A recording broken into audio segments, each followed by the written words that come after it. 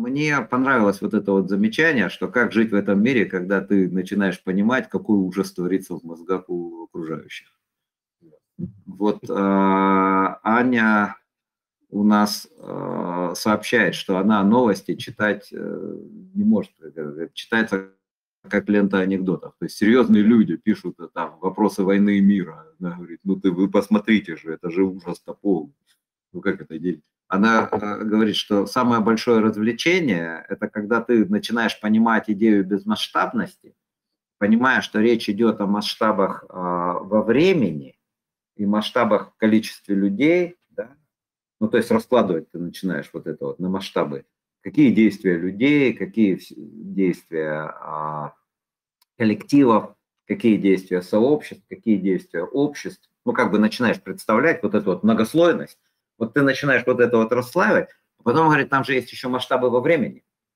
Что произошло за сегодня? Она говорит, и вот давайте мы посмотрим, читаем новости две недели. Там есть понятие сюжета, как раскрывается сюжет. И вдруг ты начинаешь понимать, что вообще каждые два дня-то меняется ситуация. В мозгах меняется, слова меняются. Ну, там все то же самое, но за две недели все вообще сдвигается. То есть действующие лица меняются, слова меняются, обоснования меняются. И ты начинаешь понимать, что если сегодня они вот это говорят, через две недели что будет? Ну, там уже сходу, вот с этого момента начинаешь. Ну, там, две недели назад что было, и через две недели что будет. Почему вот этот сюжет? был вроде бы пронзительным, исчез. Ну, как бы вот такие вот события начинают отслеживаться. А какие медиа об этом говорят? Вдруг во всех газетах, что непонятная итальянская газета, вообще никто не знал, что она существует. И даже не она сама, а читатели итальянской газеты возмутились чем-то. И оно три дня муссирует этот вопрос. Боже мой, что это такое? что говорят разные премьер-министры, неважно, что сказали читатель какой-то газеты, идет по всем каналам, да, вот, вот такие вот вещи важные. И а, когда мы начинаем работать вот с этой вот а, собранностью, а, когда мы начинаем понимать, а, что мы сосредотачиваем наше внимание, наше сознание работает с объектами окружающем мире во времени, выделяя вот эти вот объекты. И ты начинаешь парсировать, вот как мы э, говорили с Андреем, машинка типах, ты начинаешь понимать, что все оно вот примерно вот так вот и идет, да, там раскладывать все на типы, и у тебя вместо длинных пространных текстов вдруг возникают вот простые конструкции, ты видишь, что не бьется ничего ни с чем. И когда вот мы только что обсуждали, ты понимаешь, что э, миром правит э, не, ну это прямо вот слова из учебника, методологии, они там такие остались, что миром правит не тайная ложа, а явная ложь. То вопрос, как при этом сохранять присутствие духа, да? Ребята, это вопрос на самом деле очень серьезный, потому что депрессия и всякое такое, ну, люди, которые склонны немножко, да, как, как с этим жить, потому что вы видите, что я говорю о том, что наш мир устроен ужасно, вот, а нет, смотрите, вот а, ко мне были множество людей приходили и говорили, как ты можешь, вот у нас началась война, каким образом ты можешь э, вообще вот что-то делать, ну, кроме как вот заниматься войной, чувствовать себя несчастным. Причем ты должен себя чувствовать несчастным, ты же там в России живешь. А, а, мне кажется, что лучше всех на этот вопрос отвечала Пион. Потому что Пион вообще говорит, а что изменилось-то? Все, как, что изменилось? Мы жили там, Пион говорит, я, говорит, лет в 14 поняла, что мир устроен, в общем, более-менее убого, что все мрут, что в Африке там вообще голод, что идиоты меня окружают в больших количествах. И говорит, лет с 14 у меня это ощущение никуда не исчезало.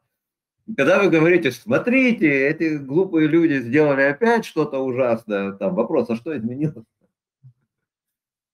Я, говорит, что-то не понимаю, изменений-то нет.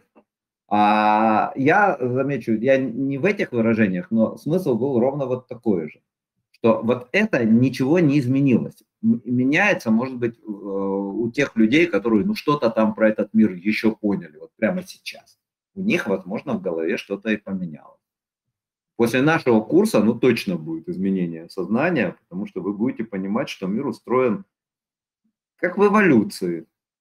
Эволюция – это жестокая такая штука, она говорит, что конфликты везде, да, там все будут мереть, а, но неприятно осознавать, что э, не все люди работают с типами, большинство не работают. Очень многие живут как нейросетка ГПТ-3, да, тем более сейчас эту нейросетку ГПТ-3 научились делать умнее. Ну вот последняя сетка Кока, она уже как бы сильно разумнее, многие люди. Нейросетки уже проявляют разумность больше там, по большинству тестов там последний тест, что-то там 600 разных тестов было, ну как бы сверхчеловеческие способности по этим тестам.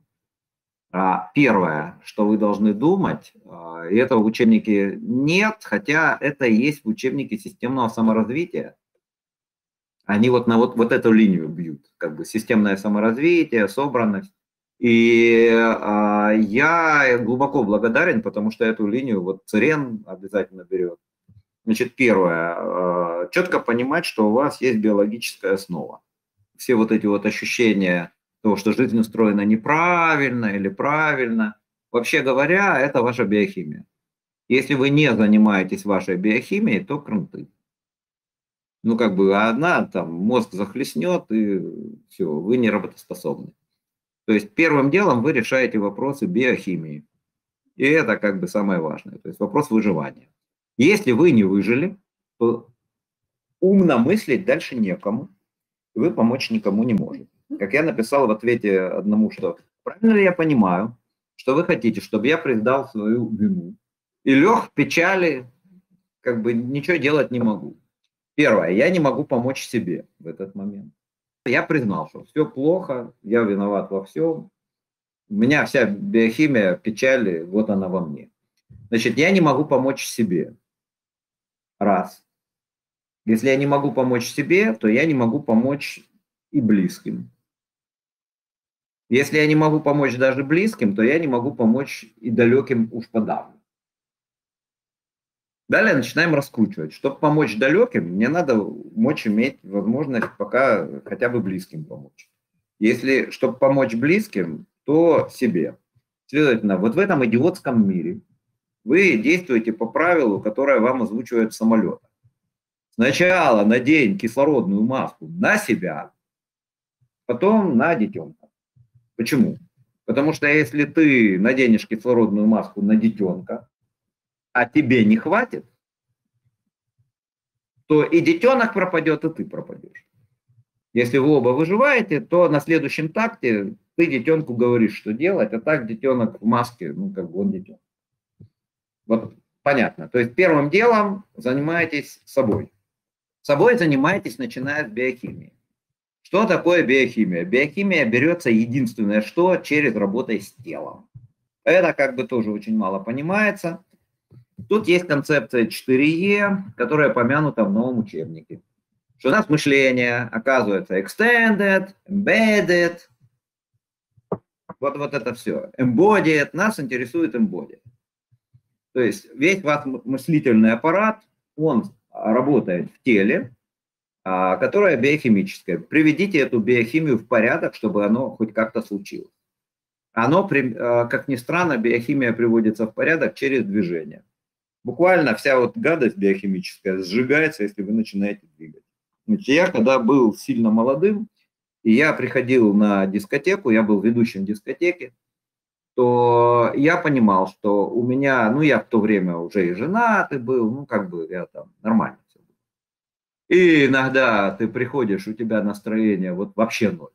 То есть на работе с женой, а перед тобой пляшут, ну, там человек по 500 приходило. Нормально. Дискотек было сильно поменьше, чем раньше, поэтому ну, все, что в городе шевелилось, приходило на ту единственную, которая была. Это сегодня там в городе там, есть куда пойти, а то как бы и не было. И ты понимаешь, что если ты заводишь настроение для вот этих людей, то оно как-нибудь, но передастся. Они же на тебя ориентируются. А ты никакой. Что надо делать? Не можешь помочь себе, не можешь помочь 500 человекам. Они пришли развлечься.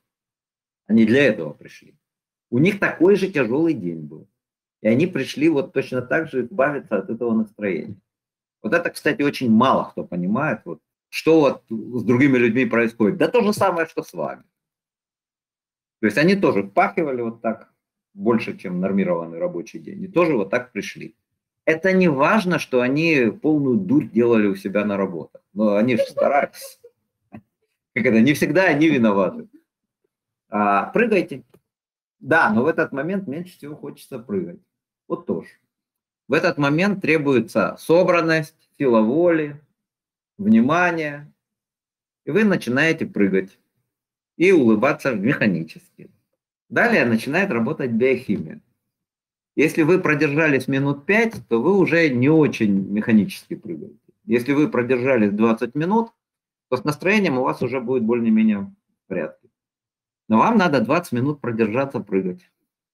Теперь вот я вам показал видео, где я пляшу с девушкой. Девушка, между прочим, кандидат психологических наук.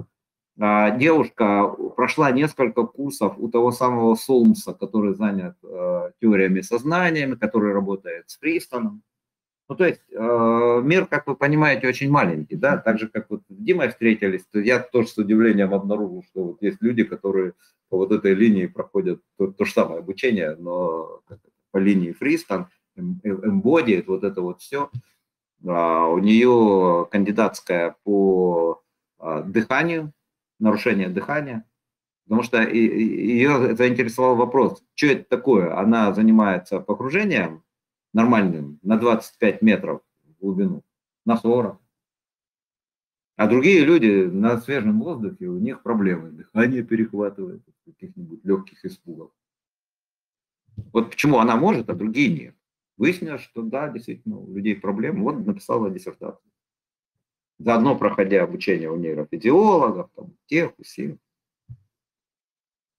А, и если я останавливаюсь, то представляете, мне с ней же дело дальше иметь.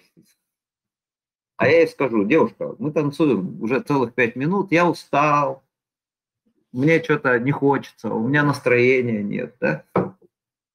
Ну, самое трудное при этом это прийти вот в этот зал. Далее тебя просто берут, и у тебя всегда рядом с тобой тренер, а когда мы говорим о double trouble, то два тренера. И отвертеться невозможно совершенно. А замечу, что ровно то же самое мы будем проходить а, на курсе а, системного менеджмента в тот момент, когда мы будем говорить о лидерстве. Потому что я очень хотел бы, чтобы я его так травлю, но все примеры на самом деле это реально примеры из курса на те или иные практики. Смотрите, это я вот все ту же самую тему метафоры, да? Потому что когда вы приходите на вот эти вот танцы, то оказывается, что все вокруг выполняют вот это распределенное лидерство. То есть вы там не сможете просто стоять. Если вы туда добираетесь, а иногда начинают еще из дома, то есть вам в личку ты там приходишь или нет. И если ты не приходишь, то тебе надо себе, по крайней мере, объяснить, почему ты такой усталый, будешь лежать на диване и тупить в Facebook. А вот это вот ни в коем случае нельзя объяснять.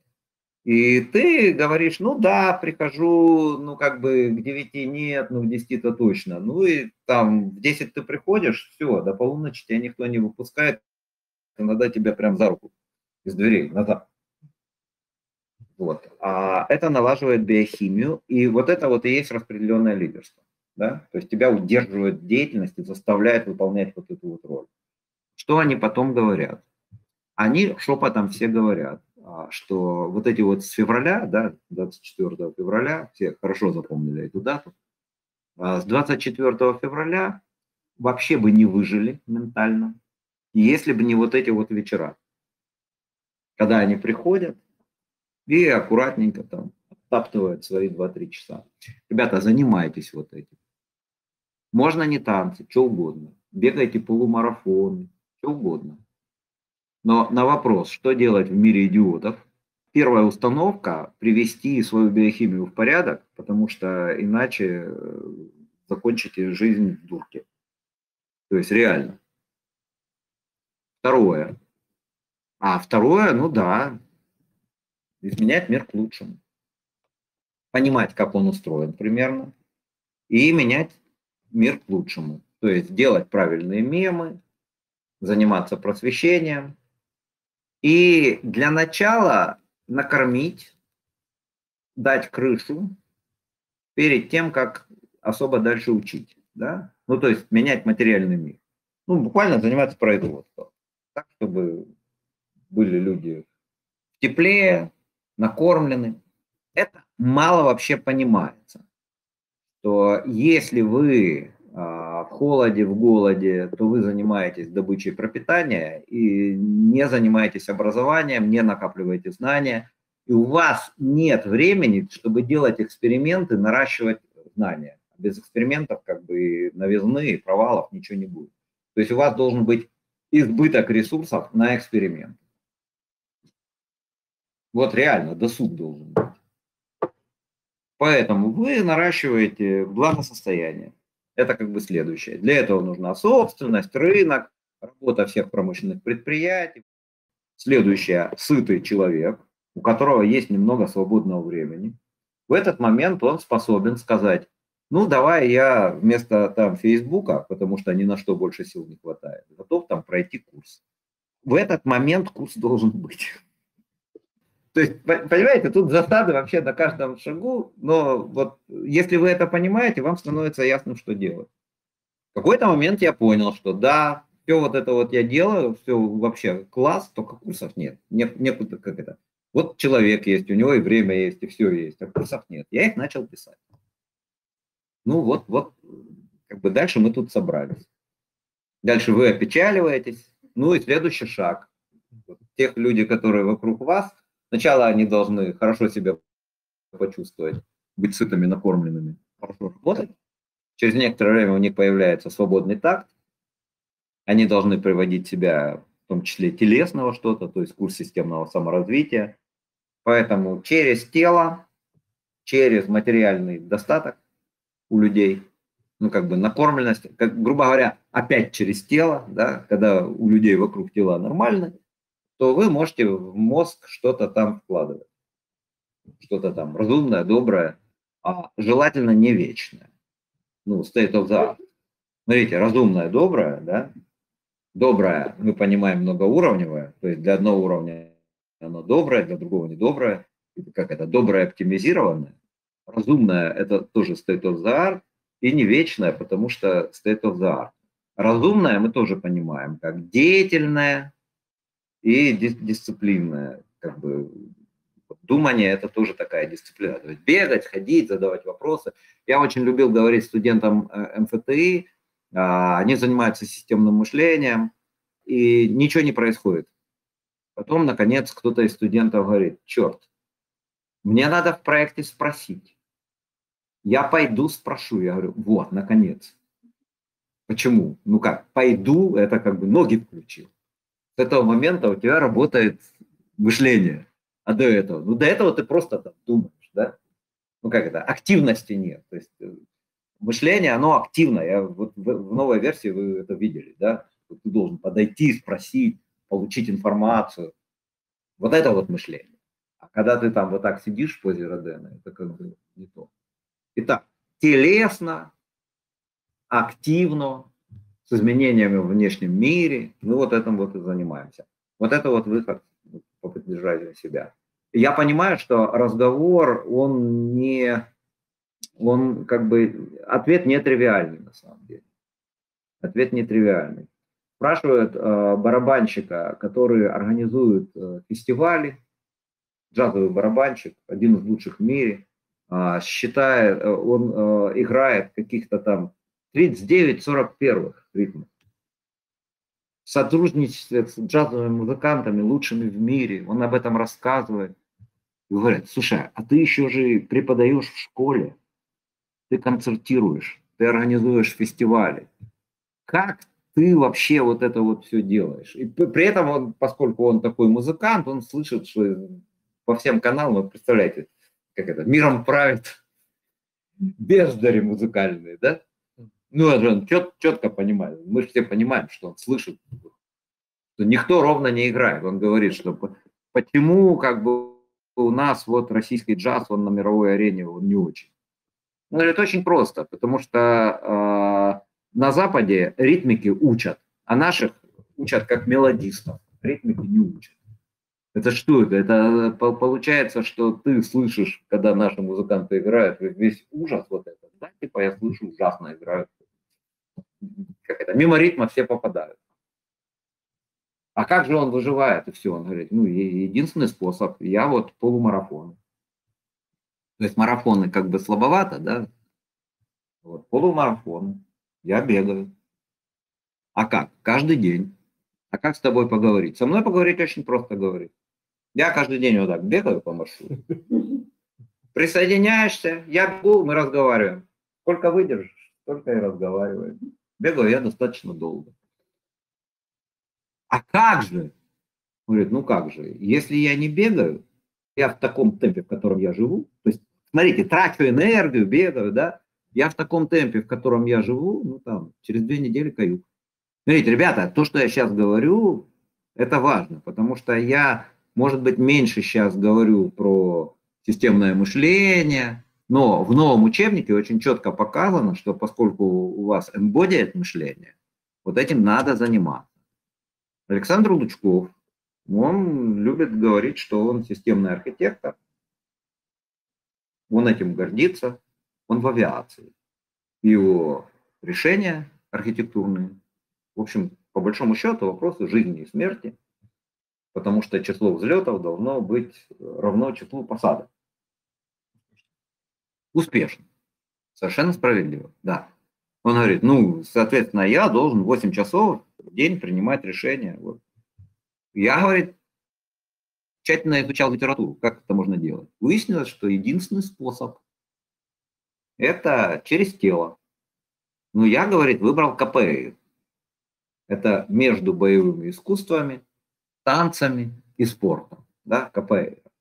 И смотрите, у одного полумарафона, у второго КПР есть, ну, как бы это единственный способ. Просто я к тому, что а, как жить в этом мире. Первый ход биохимический, он как бы спортивный. Танцы я беру, да, собственно, если вы попадаете к хорошему тренеру, вы с удивлением обнаружите, что Вся команда будет не понимать, когда вы пропускаете тренировку. Появится обязательно чатик этой команды. Вот там кизомба группы, куда я ходил, там чат. Там за каждым сидят, чтобы каждый пришел, просят лички еще, что тебя не было. То есть вы будете всем объяснять, почему вы не заняты своим хобби, да? Вот, а в итоге, а в итоге вы будете выживать вот в такие вот странные моменты, когда все будут сходить с ума, вы как-то будете выживать сами, помогать близким, помогать далеким. А следующий шаг, ну, следующий шаг, э, да, изменяем мир к лучшему. А были очень хорошие работы э, у Ротбарда э, по либерализму. Вот эта вот линия Ротбарда,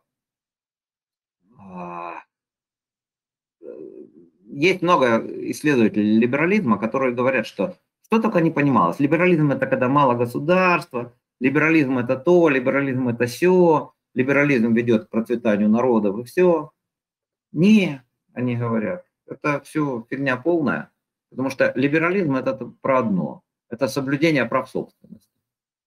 Если есть соблюдение прав собственности, у тебя и с государством все будет нормально, и с воинами как-то образуется, и с благосостоянием, поскольку рынок, рынок у тебя будет, ну там, никто не будет забирать и перераспределять, да, то есть собственность. Только про одно, вот право собственности. И отсюда много-много чего раскручивается. А дальше? Же духовность, все. Понимаете, вот такое вот дело. Если у тебя собственность соблюдается, а, то у тебя дальше а, благосостояние налаживается. Подождите, как бы, мы же там про а, доброе, про вот, что люди должны знания, наука, вот это все. Они говорят, Понимаете, тут такое дело. Если у тебя собственность есть, то люди накормлены и под кровом. И у них появляется избыток свободного времени, которое они могут потратить на писательство, художество, а, как бы на все, вот что вы говорите там. Да? На, на духовный рост, на исследование дальних планет. Если они не накормлены, замерзают и дохнут от голода, то, знаете, проблемы возникают вот с этим. Каннибализм, всякое вот такое, да, ну как меньше ресурсов, возникает вообще неприятности такие. То, чего вы не хотите. Поэтому, если вы хотите, чтобы люди были добрее, умнее, проводили эксперименты, занимались дальними путешествиями, смотрели в неведомое, сначала накормите, пожалуйста, дайте им кров, ну, минимум, Далее появится избыток времени. Если у них 100% времени будет уходить, как у неандертальцев, на то, чтобы выжить, у вас не будет ни науки, ничего. А для этого, ну, мы знаем, говорят, что вот с собственностью вот это вот связано. Собственность есть, дальше появляется свобода обменов, возникают деньги, ну, как товар, который в собственности вы можете легко менять. И далее возникает вот рыночное общество, потребности, есть калькуляционный аргумент Мизеса. Да, но вы опять не говорите, общество это когда все добрые, ну как бы добрые, начиная с того момента, когда вам не надо выбирать, кушать ваших детей или не кушать. Почему? Ну, жрать когда нечего, вот. новых-то нарожаете, если вы доживете, а если нет, то и вы пропадете, и дети пропадут, и все пропадут. Возникает вопрос про кушать.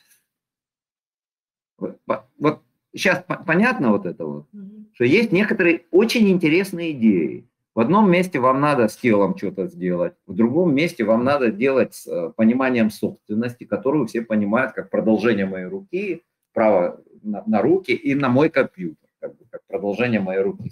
Священная собственность, начиная с собственности на собственное тело. То есть опять все через физический мир. И это же опять же возникает э, идея, что какую вы, дьявол побери, мысль не используете, все равно вы возвращаетесь мыслями к физическому миру. Да? Собственность, она вечная. А есть обязательственное право. Да, обязательственное право на что? На что, чтобы что-то сделать. Чтобы что-то сделать, вам надо изменения в мире. Да, я обещал то, я обещал все, это обязательственное право. Ребята, все очень хорошо, но обязательственное право сводится к тому, что вы должны какие-то предметы в конечном итоге в физическом мире привести в взаимодействие. Это означает, что они должны быть в чьей-то собственности, и вы должны... Мысль понятна, да? То оказывается, что римское право вечное, оно вот примат, потому что новые идеи, что все на, на, на обещание. Да, а далее? А далее идея собственности как определяется. Идея собственности определяется не то, что я связан с этим компьютером невидимой нитью. Она определяется примерно так же, как лидерство. Смотрите, контринтуитивно, точно так же. А, лидерство – это э, когда а, современное лидерство – это не лидер меня убалтывает, а когда вот вы все меня убалтываете, если я скажу, о, ребята, что-то мне надоело преподавать, вы на меня все сукоризной посмотрите, не кто-то, не Цирен там как лидер, а все, типа, я скажу, да, что-то я не так понял, потому что человек существо странное, да, с собственностью точно так же. Вы все должны признать, что это компьютер мой. Не я говорить, что компьютер мой, а как бы все остальные. И так же, как лидерство. Это не лидер как бы делает что-то, а все как бы роль заталкивают. И важно при этом сделать такую атмосферу, чтобы вот это вот лидерство такое существовало, да? чтобы все друг другу помогали сотрудничать. Ну, там, заталкивали в роль, и не просто роль, а как бы, чтобы роль взаимодействовала с другими, чтобы получалось производство. С собственностью выясняется то же самое. Собственность задается через то, что все признают кого-то собственником вещи ну, в особо важных случаях делают реестр, запишут туда. Но все признают, что в реестре записано, что я владелец этого дома. Да? Смотрите, не я признаю, что я владелец, а все остальные. Для этого, опять же, надо промыть всем мозги, туда мемы соответствующие про собственность вложить. Тут придут коммунисты, которые скажут, что все вокруг народное. С лидерством то же самое. Придут психологи и скажут, что должен быть начальник, который поведет за собой красным знаменем на белом коне. Ну, смотрите, таких книг же полно. Да? Очень трудно этому сопротивляться, потому что идеи, которые я говорю, они абсолютно одни и те же. Надо выходить в физический мир, надо смотреть на процессы, как на взаимодействие вот этих вот физических объектов, которые не совсем произвольно задаются их границы, они как бы аттракторы стабильности. Статьях так аккуратно пишут, что в пространстве состояний, в фазовом пространстве состояний есть некоторые места, где вот системы находятся сильно чаще, чем в любых других. Такие вот аттракторы этих состояний. Да, то есть вы выходите вот в этот физический мир, а, а, и а, есть некоторые мемы, которые помогают дальше вам выживать вот в этом вот мире, то есть сохранять себя подольше, не растворяться, не помирать, не, не поддаваться энтропии. И очень часто это связано с вот таким вот, как это, контринтуитивным в том, что у вас появляется что-то распределенное на вас действующее. То есть какие-то мемы, которые у всех в головах, они создают вот такой специальный порядок, как с собственностью, с лидерством. Чувствуете, абсолютно одинаковые. Вот. И все это сидит, все равно опирается на биохимию. А компьютеры? А компьютеры не, не на биохимию, но им там электричество требуется. Да? Что сначала, там, сначала обеспечь электричество, софт правильно. То есть там свои заморочки. Э, вот так вот и выживают. Вот. Давайте мы дальше пойдем, потому что я-то, э, вы же знаете, полдня все равно болтаю, рассказываю байки, да? Потом выясняется, что все эти байки, они хорошо иллюстрируют материал учебника.